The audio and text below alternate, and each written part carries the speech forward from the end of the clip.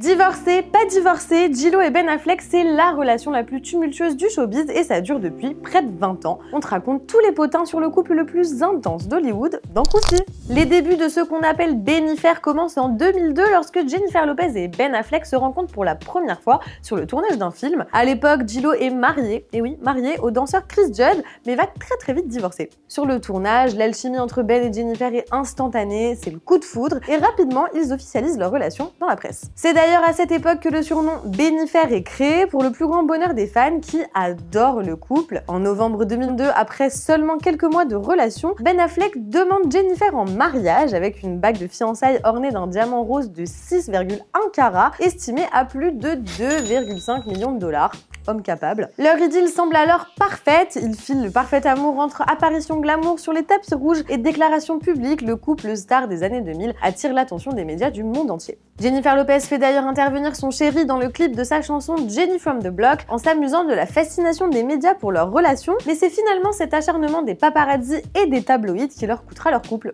En 2003, Gillo et Ben sont sur le point de se passer la bague au doigt à Santa Barbara, mais décident finalement de reporter la date du mariage. La raison, l'attention médiatique excessive portée sur leur mariage. Le couple a confié avoir réfléchi à engager trois fausses mariées qu'ils auraient placées dans trois endroits différents afin de se marier sans la pression des médias. Et c'est cet engouement autour de leur mariage qui les aura fait reculer. Le couple rompt officiellement en 2004. Gillo est profondément affecté, déclarant plus tard que c'était son premier véritable chagrin d'amour. Peu après leur séparation, Jennifer Lopez épouse le chanteur Marc Anthony, tandis que Ben Affleck entame une relation avec l'actrice Jennifer Garner, avec qui il se mariera et fondera une famille. Tout le monde finit par oublier Benifer, enfin du moins on essaye de penser à autre chose. Mais surprise, on n'avait pas encore assisté au deuxième acte. Pendant près de 17 ans, la vie des deux stars suit des chemins séparés. Jennifer Lopez et Ben Affleck vivent donc chacun des mariages, des divorces et construisent leur carrière respective. Mais en avril 2021, le monde est surpris d'apprendre que les deux ex se sont retrouvés après que Jennifer Lopez se soit séparée de l'ancien joueur de baseball Alex Rodriguez.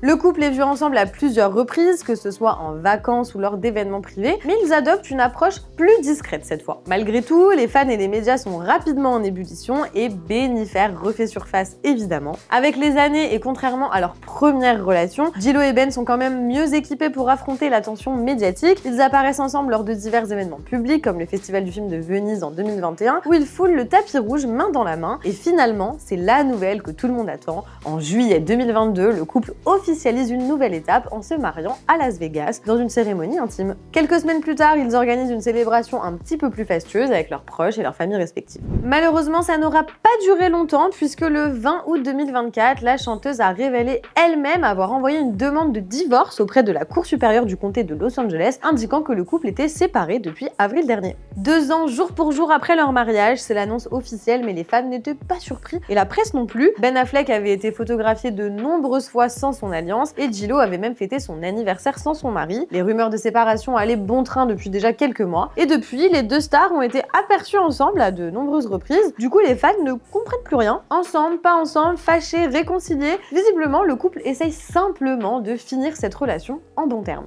Et toi, est-ce que tu avais suivi l'histoire de Benifer? Dis-nous en commentaire quel couple mythique tu veux qu'on aborde dans le prochain Krusty. Salut